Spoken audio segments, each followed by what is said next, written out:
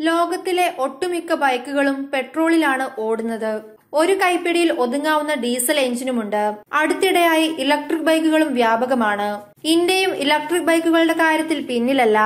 Startup കമ്പനിയായ revolt നിരവധി ഫീച്ചറുകളുള്ള തങ്ങളുടെ ഇലക്ട്രിക് ബൈക്ക് പുറത്തിറക്കി കഴിഞ്ഞു. കൂടാതെ ഭാവിയിലെ ഇന്ധനങ്ങളായി ഹൈഡ്രജൻ ഫ്യൂവൽ സെൽ ഉൾപ്പെടെ നിരവധി പരീക്ഷണങ്ങൾ നടന്നു വരുന്നു.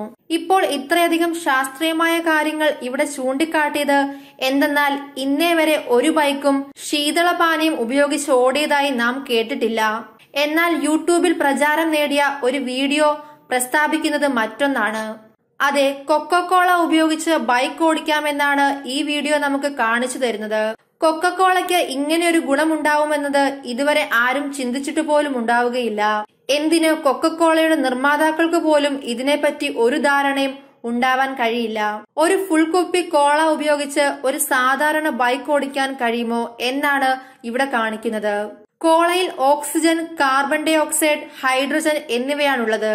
ഈ പരീക്ഷണത്തിനായി ഒരു ഹീറോ ഹോണ്ട ഗ്ലാമർ ആണ് ഉപയോഗിക്കുന്നത്.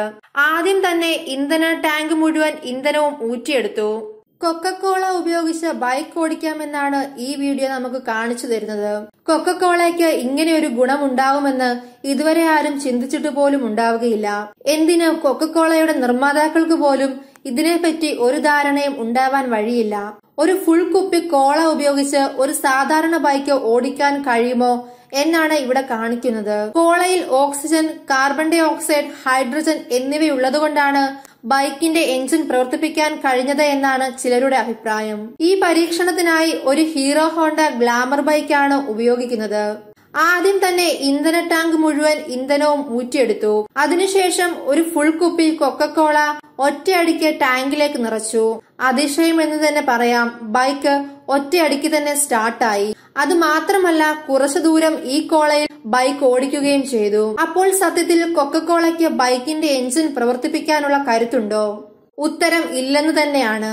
ഇതായിരുന്നു സ്ഥിതിയെങ്കിൽ ഈ നാട്ടിലെ പെട്രോൾ പമ്പുകളെല്ലാം പെട്രോളിനും ഡീസലിനും പകരം കുപ്പികളിലെ കോളകളും ശീതളപാനീയങ്ങളും വിറ്റാൽ മതിയല്ലോ.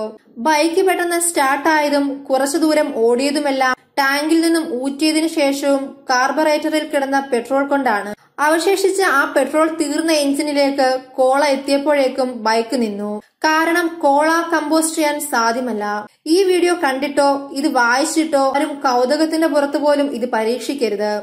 പരീക്ഷിച്ചാൽ നിങ്ങളുടെ ബൈക്ക് നശിക്കുമെന്നത് ഉറപ്പ്.